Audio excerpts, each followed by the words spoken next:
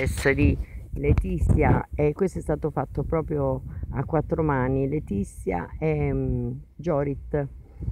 E la M e, insomma qua è veramente uno spettacolo perché Gragnano è molto fresca poi famosa per la pasta famosa per tante cose famosa anche per delle cose storiche le fabbriche appunto di pasta dove si faceva la pasta di Gragnano nota in tutto il mondo.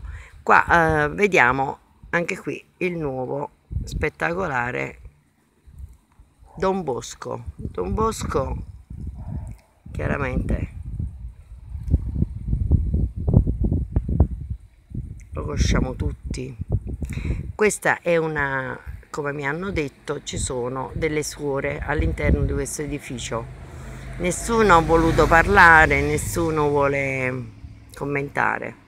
Però una signora molto carina mi ha detto una cosa che Jorit e la ragazza facendo questi murales hanno eh, chiaramente illuminato dei posti che prima non erano per nulla illuminati per cui tutti i quartieri eh, diciamo degli sfollati napoletani e soprattutto un altro quartiere che purtroppo invece non è stato proprio possibile fare nessun murales e quindi la signora si è un po' lamentata che ha detto qui abbiamo la luce abbiamo il murales per questo motivo c'è la luce per farlo vedere a tutti.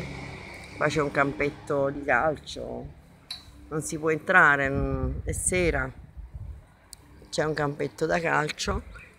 E quello che più ci piace vedere questa, questo murales ecco illuminare il, la desolazione quindi dare luce alla città.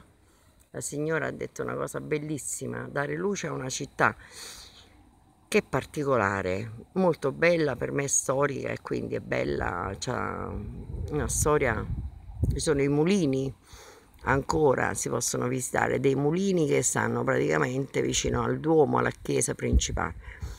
E sono dei posti incredibili, solo che chiaramente come ogni città ha i suoi problemi, qua infatti si vede un po' la zona che andremo a vedere dopo dove si fa la festa della pasta, dove si, ci stavano molti eventi prima del Covid.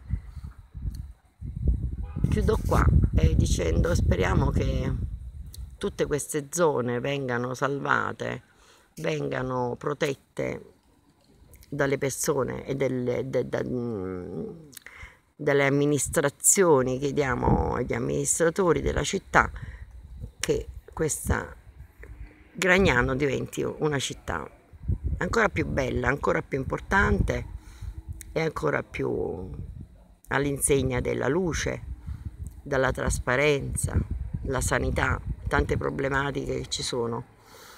Ok, Don Bosco.